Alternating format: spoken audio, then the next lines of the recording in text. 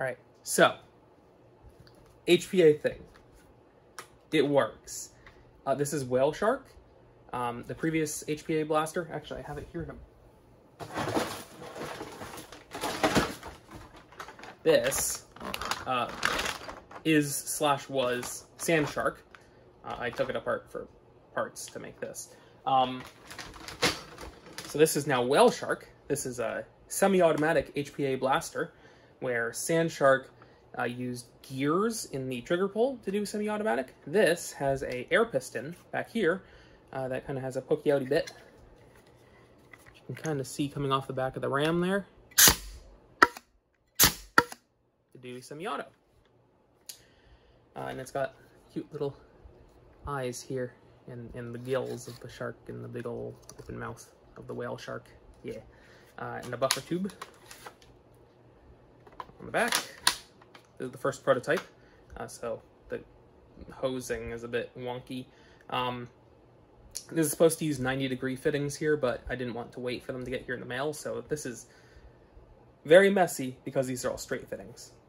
Um, also, I got a much bigger HPA tank, so now I can do more extended firing. Um, and the last thing I need to tell you before I actually fire this on camera is um, all of this filament in this blaster is from um, Polymaker. And they have given me this filament for free uh, in exchange for telling you that it's from Polymaker. So um, filament costs a lot of money. And if that's what I need to do in order to not spend money on filament, uh, this filament's Polymaker. Anyway, Polymaker filament, um, given to me for free. Now you know um, transparency and stuff. Yeah, I'm responsible. Okay, HPA Blaster. It's awesome. Uh, magazine. Um, ball detents in the magwell. So just stick it in or pull it out. Um, airline goes in through the bottom. Also, look, I put uh, on the magwell. you wouldn't download a blaster. Anyway, so you put in the magazine, then you pull the trigger once, and it will dry fire to cycle the dart into place, and then you can normal fire. Um, this is not a scar barrel, this is just a barrel cover. There, so the effective barrel length of this, I think, is a foot, um, which I think is too much in its current setup. Um, the one issue that I run into so far is the RAM doesn't go full, all the way into where it's supposed to be. Um, if I hold the magazine here for contrast. Is that, is that good? Yeah. So the RAM should be there, but it only sits there. So it should be uh, that much further in. But it still seems to be firing even, even without it going fully into the correct position. So, uh, if I adjust the stock to more comfortable length, dry fire, let go of the trigger, and that will load a dart, and then that is fired. So, I've got this big line coming off of the air tank on the chair right there, um, and that would be in like a backpack or a hip holster or something. But, see if I can get this on video um, without hitting all the crap on my desk. So, am I in frame? I think I'm in frame.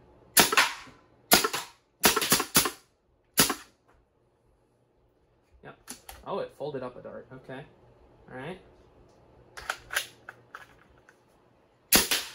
There we go.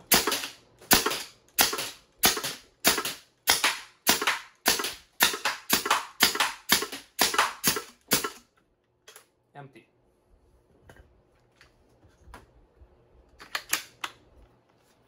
All right, let's do one a bit closer to you. Uh, let's make sure that this is aiming in a correct location. Okay. So that's to load the first dart and then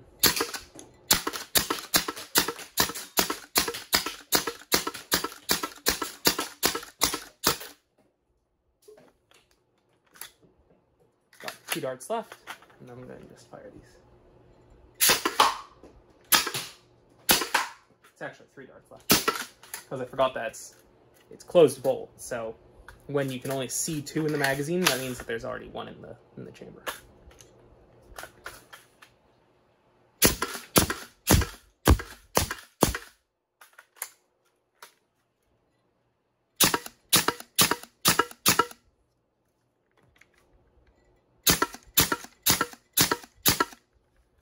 Oh, and also, um, you can see the air tank down here. Uh,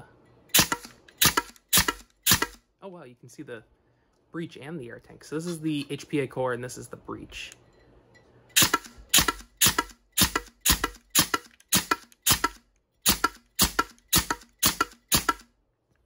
So that extra black line that you see on top of the ram is actually a piece of elastic.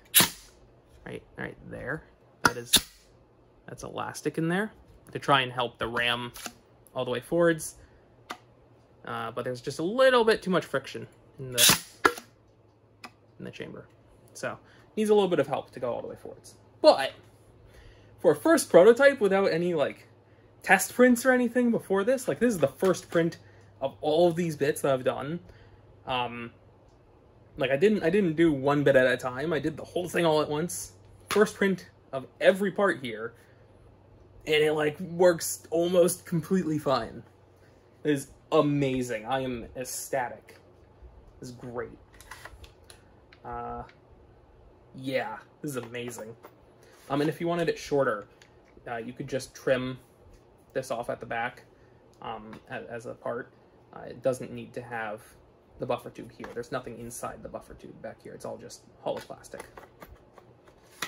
So, it could be um, even shorter if you wanted it to be.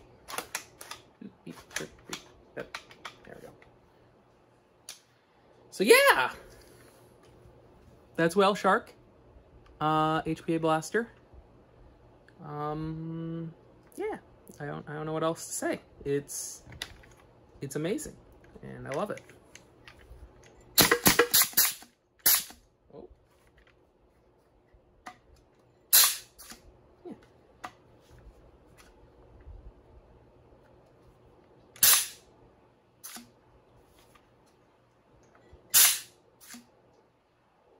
Oh, am I running low on air?